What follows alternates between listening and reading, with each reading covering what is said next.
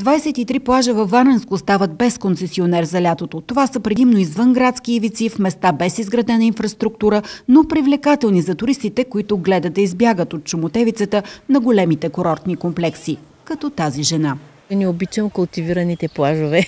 Постройки и всякакви други такива бетони, аз съм против. Дай Боже да има някой, който да има възможност само да го почиства от бокуците и да дава възможност на хората да го ползват.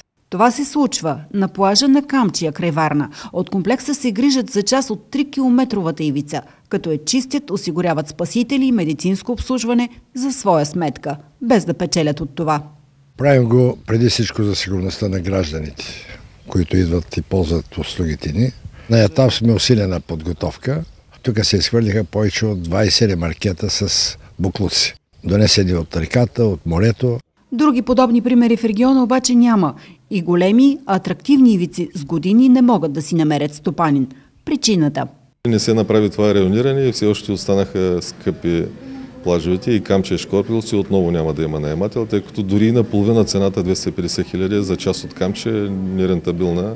Там няма изградена инфраструктура, т.е. няма от какво да печели евентуалния концесионер. Потвърждават го и хора с дългогодишен опит в концесиите. По-големите плажни ивици са по-тежки като отговорност и като разходи на средства. Те предполагат по-сериозни инвестиции. На такъв тип плажове хората предпочитат да, да почиват под формата на като носят шазлонга, носят чадъра и по този начин економическата изгода с две думи е липсва.